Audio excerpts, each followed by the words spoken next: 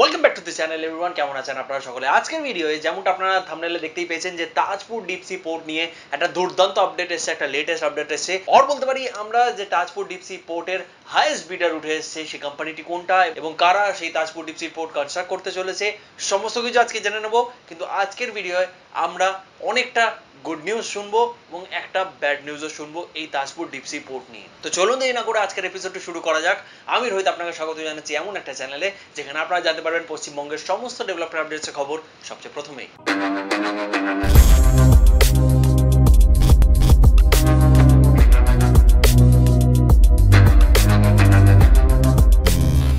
যেমনটা আমরা দেখছিলামই যে কিছু মাস ধরে এক্সপ্রেশন অফ ইন্টারেস্ট জমা করা হচ্ছিল এবং তার সঙ্গে সঙ্গে রিসেন্টলি টেন্ডার্স লঞ্চ করা হলো। তো এই টেন্ডার্সটিকে ফ্লোট করেছিল ডব্লিউবিআইডিসি যে কোম্পানিজরা ইচ্ছুক সেই টেন্ডারে পার্টিসিপেট করেছে এবং তেইশে মার্চ মানে লাস্ট ওয়েডনেসডে এখানে প্রাইস বিডস ওপেন করা হয়েছিল বিডার্সদের জন্য তাদের প্রেজেন্সে তো এক্সপ্রেশন অফ ইন্টারেস্ট তো অনেকগুলো কোম্পানি জমা করেছিল, অনেকগুলো পোর্ট কোম্পানিজ বলুন, অনেকগুলো মেজর লজিস্টিক্স কোম্পানিজ বলুন, কিন্তু এই বিডের সময় মাত্র দুটো ফিনান্সিয়াল এন্টিটি যারা পার্টিসিপেট করেছে, যেটা হচ্ছে একটা জেএসডব্লিউ অর জিন্ডল স্টিল আরও একটা হচ্ছে আদানি গ্রুপের আদানি পোর্টস অর বলতে পারি আদানি পোর্টস এসইজেড যার মধ্যে থেকে বিড করে এই যে নতুন green field Tajpur deep sea port তৈরি হবে আমাদের পূর্ব মেদিনীপুর জেলায় হাইয়েস্ট বিডার যে বেরিয়ে এসছে সেই কোম্পানিটি হচ্ছে Adani ports yes Adani ports জিতে গেছে এই বিডটি এবং তারা কনস্ট্রাক্ট করতে পারে এই তাজপুর ডিপসি পোর্টটি কেন পারে বললাম?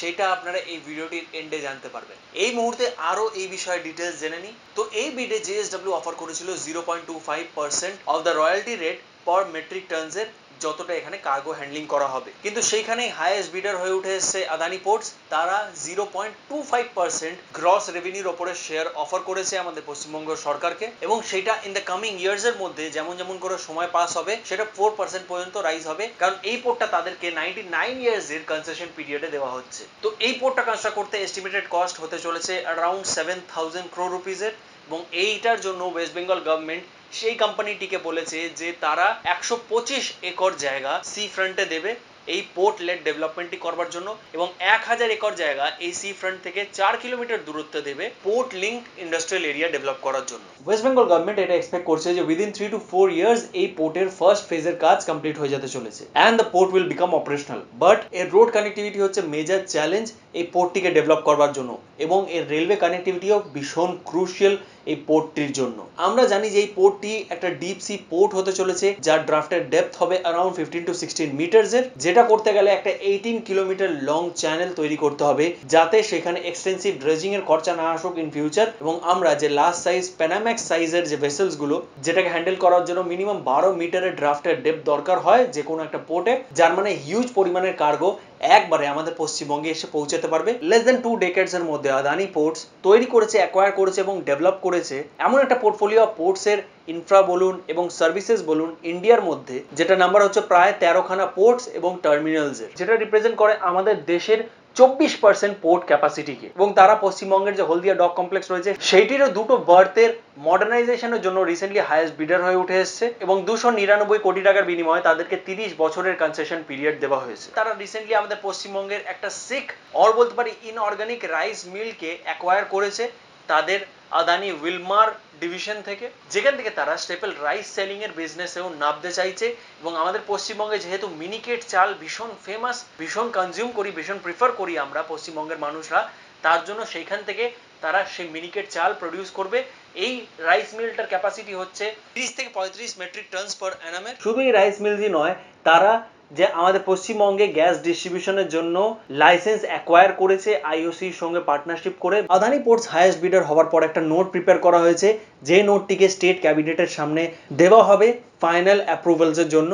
কিন্তু বিভিন্ন অ্যানালিস্টরা এটাও বলছেন যে এই পয়েন্ট টু ফাইভ পার্সেন্টের যে রেভিনিউ শেয়ার সেটা ভীষণ কম।